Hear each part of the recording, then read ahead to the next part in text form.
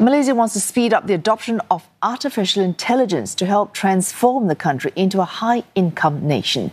Speaking at the launch of the National Artificial Intelligence Office in Kuala Lumpur, Prime Minister Anwar Ibrahim emphasized the need to create a robust digital ecosystem governed by strong by a strong regulatory framework. CNA's Melissa Goh has all the details. Building an AI nation together now. The launch of the National AI Office at Malaysia International Trade and Exhibition Centre was witnessed by a large turnout of big tech companies, served as a driving force in aligning Malaysia's AI roadmap with global trends. Among the National AI Office's priorities are to come up with a regulatory framework on AI adoption and to speed up AI technology adaptation.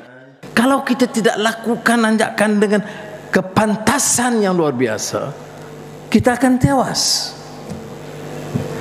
Cita-cita kita akan hanya menjadi cita-cita di alam maya.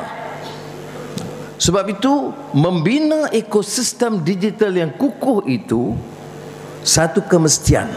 Now, Digital Minister Gobind Singh Deo, who's tasked to deliver the goals, said that he aims to release and code on ethics by the first quarter of next year, as well as an action plan to develop the talent pool.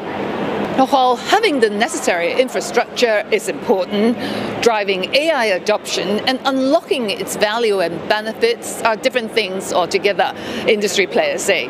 It's a bit of that catch-22 situation. Like you can in invest in AI infrastructure like what we are investing right now with all the announcement that we've done so far, right? Uh, but those technologies, those platforms, is going to be grossly uh, underutilized unless uh, you invest in AI skilling. So I don't think they are mutually exclusive.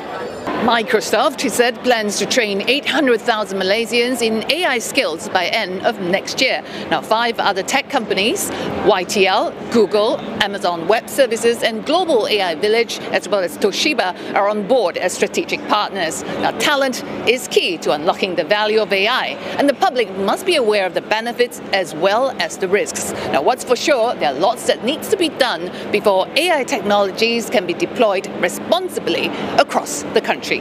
Melissa Goh, CNA, Kuala Lumpur.